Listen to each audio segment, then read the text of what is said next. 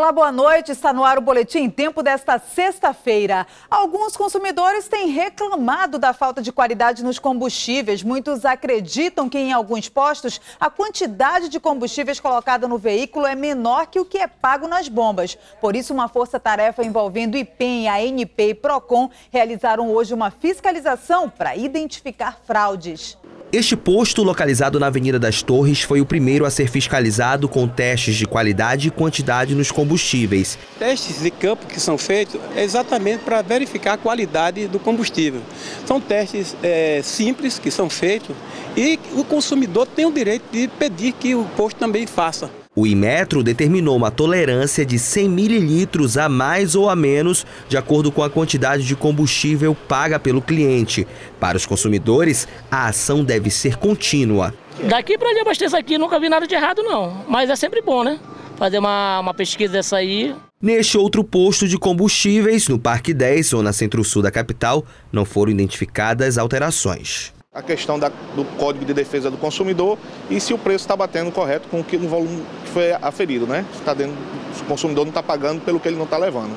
De acordo com o Instituto de Pesos e Medidas do Amazonas, o posto que for pego com irregularidade, o proprietário tem um prazo de até 10 dias para apresentar defesa e pode pagar até 2 milhões de reais de multa.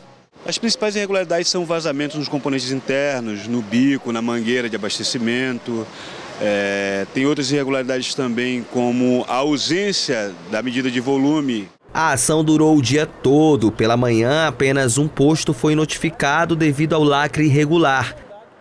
A polícia prendeu três pessoas suspeitas de envolvimento com o tráfico de drogas. O trio atuava na comunidade União da Vitória, no Tarumã, Zona Oeste.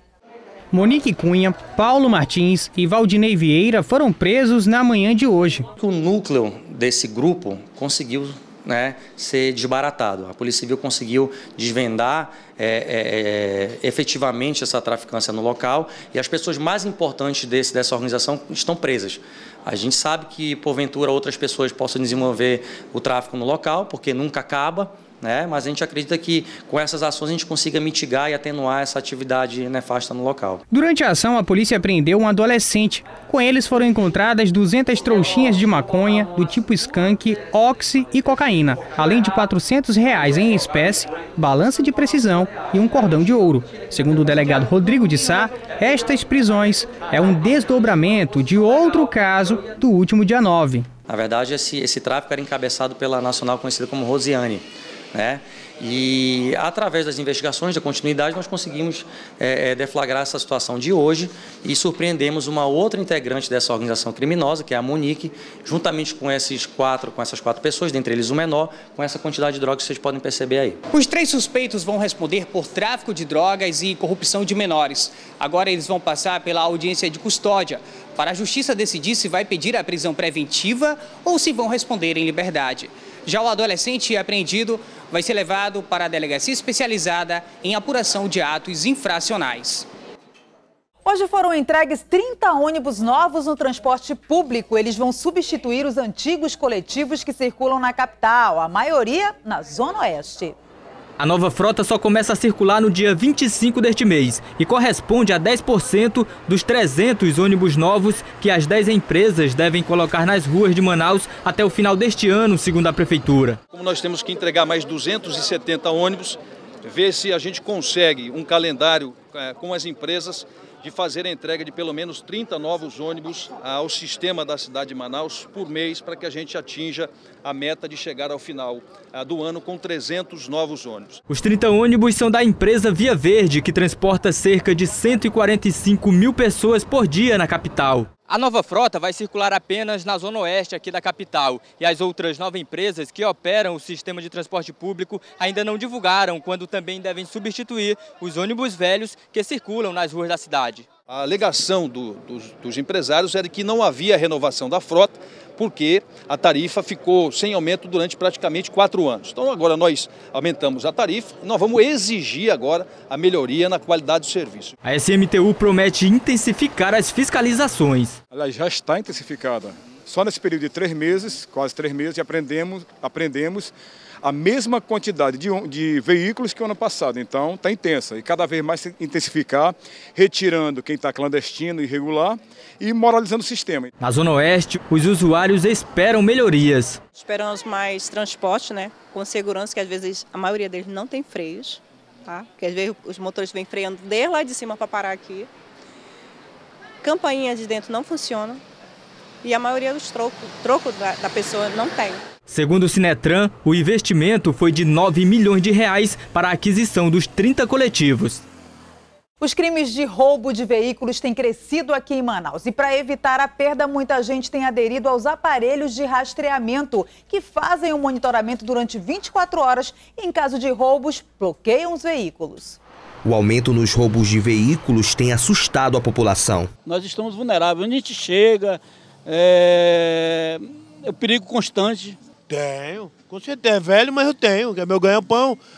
Acabei de receber uma proposta de outro carro, mas é o cara que está me levando para lá e para cá. Tenho sim. E o medo maior é de quem já foi vítima desses assaltantes. O servidor público Mário Cavalcante teve o carro roubado em setembro do ano passado. O veículo estava estacionado em frente à casa dele. Quando ele saiu na madrugada para colocar o carro na garagem, encontrou o local vazio. Quando saí para pegar o carro, não estava mais. Qual foi a sua atitude? Eu vim diretamente aqui na delegacia fazer a ocorrência. Os infratores alteraram o chassi do veículo, a cor e a placa. A polícia conseguiu resgatar depois de seis meses por meio de denúncia. Um alívio para o proprietário. Estamos de parabéns que ganhamos de volta o presente. Aqui na delegacia especializada em roubos e furtos de veículos, são registrados de 15 a 20 roubos por dia. O trabalho da polícia aumentou este ano. Nós tivemos um pequeno é, aumento no, no, no, número de veículos roubados e furtados nos nossos registros de ocorrência. É, nós acreditamos que possa ser devido à fuga que ocorreu no nosso sistema prisional, que aumentou o número de crimes de um modo geral nós percebemos que muitos desses veículos são utilizados para o cometimento de outros crimes e posteriormente são abandonados em via pública pelos agentes. De acordo com a Secretaria de Segurança Pública do Amazonas, são registrados 10,4 roubos em média aqui na capital.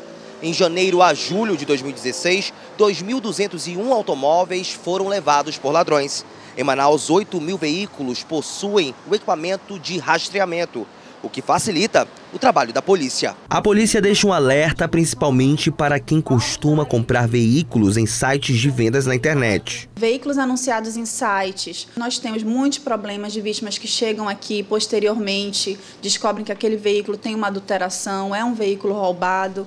Nós orientamos as pessoas que, se caso tenha alguma dúvida quanto à procedência do veículo, leve imediatamente aos postos de vistoria do Detran. Essa empresa possui mais de 400 clientes que já instalaram o aparelho de rastreamento, que custa a partir de 600 reais. Ele é colocado no veículo em um ponto estratégico que nem o proprietário sabe. O monitoramento ocorre durante 24 horas, tudo para dificultar a ação do ladrão. No caso de roubo, o cliente aciona a empresa e o veículo é bloqueado. Ele fornece a localização do veículo de um em um minuto, né, com a possibilidade, se você for tomado de um assalto, né, você deixa levar sua moto, deixa levar seu carro, não reaja, você pega qualquer telefone, liga para a nossa central e nós fazemos o bloqueio desse veículo. O José Cardoso tem uma moto há um ano e meio.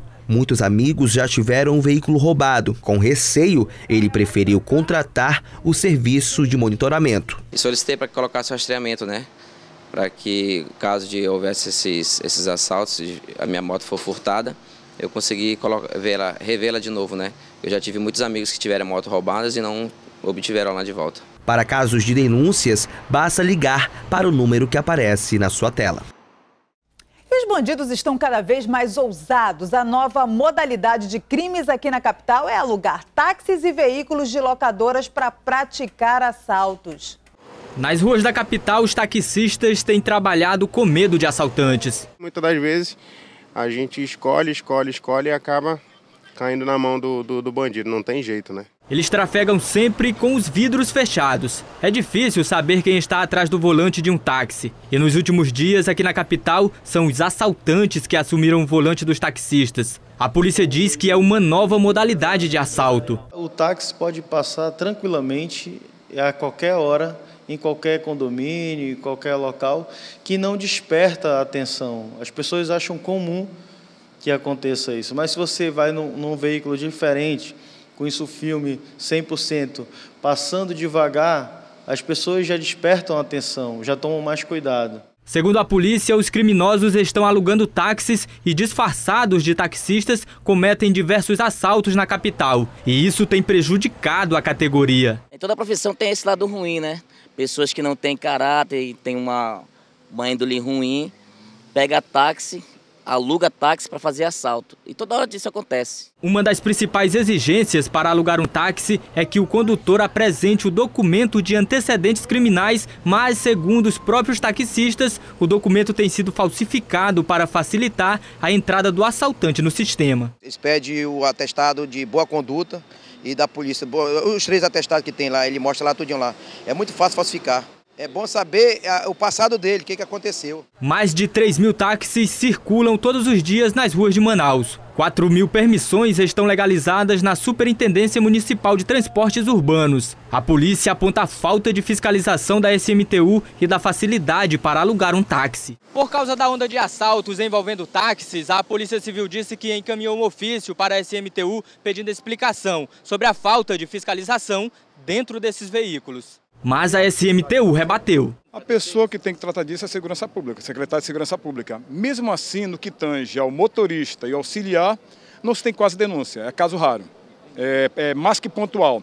Agora acontece às vezes do auxiliar passar o carro para alguém cometer assalto. Na semana passada, dois homens foram presos depois de assaltar uma loja de materiais de construção no Dom Pedro. Eles estavam num táxi no dia do crime. A categoria reconhece a fragilidade. Hoje em dia, o que tem mais aí é táxi pirata. Pessoa que clona o carro, um, clona um, um táxi, uma placa de outro táxi e vai fazer assalto infelizmente, a categoria não pode pagar por isso, que existe. Mas não apenas os táxis são alvos dos bandidos. Os carros adquiridos por meio de locadoras também. Os veículos têm chegado nas mãos dos assaltantes pela facilidade no aluguel. Aqui é um contrato de locação de veículos, onde tem todos os dados do cliente, veículo que ele está locando, valores de diária, valores de proteção e as cláusulas gerais da locação, que é referente a multas, referente à limpeza do veículo, referente a avarias. A polícia diz que está intensificando as ações de combate a essa nova prática criminosa.